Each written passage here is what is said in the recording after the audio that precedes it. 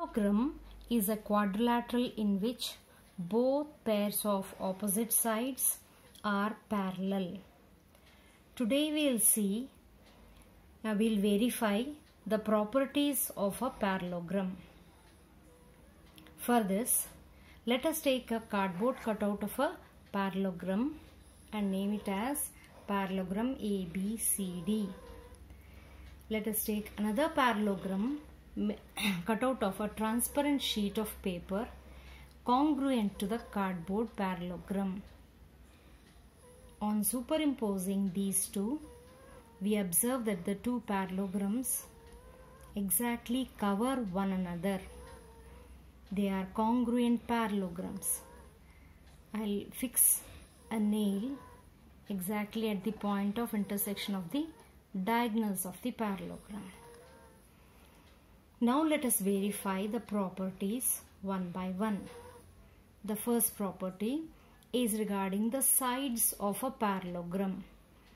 The sides of a parallelogram, there are two pairs of opposite sides AB and CD, AD and BC.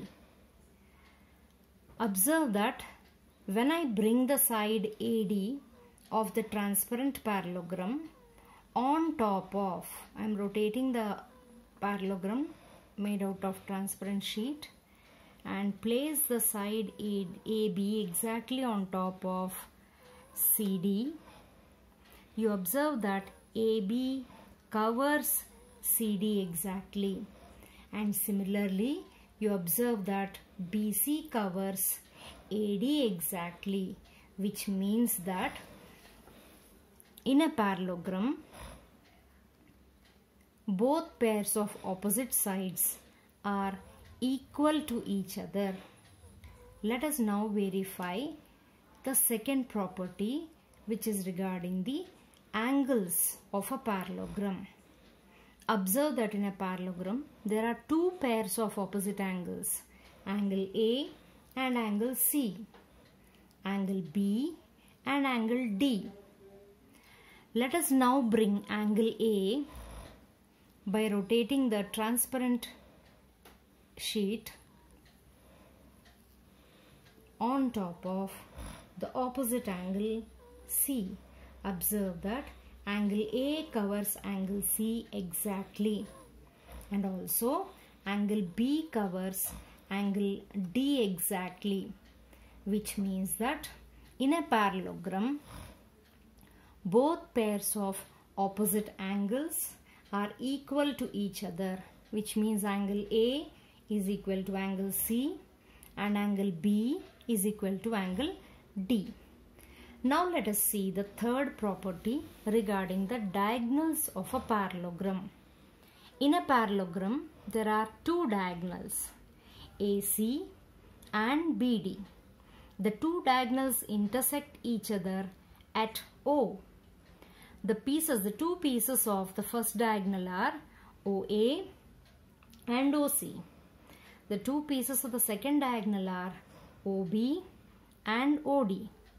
Let us now bring vertex A of the transparent parallelogram on top of C and observe that OA exactly is equal to OC and similarly OB is exactly equal to OD which means that in a parallelogram for this diagonal AC O is the midpoint which means the segments OA and OC are both equal.